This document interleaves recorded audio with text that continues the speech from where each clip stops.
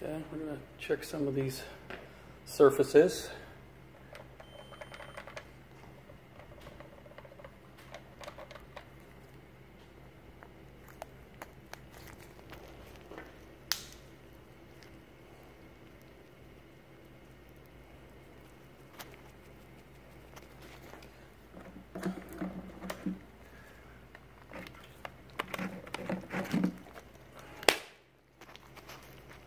Okay.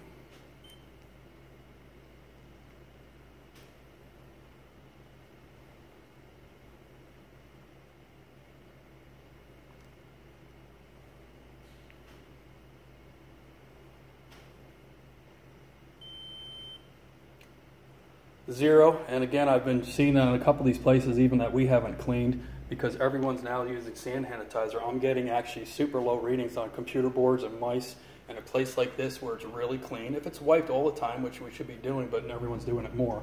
So we applied our cleaning product and then our Protector Zoono two days ago, and because of the hand sanitation, an area like this now is cleaner probably than areas like over here, and that's why it was important to use the electrostatic on places where no one's really going to wipe.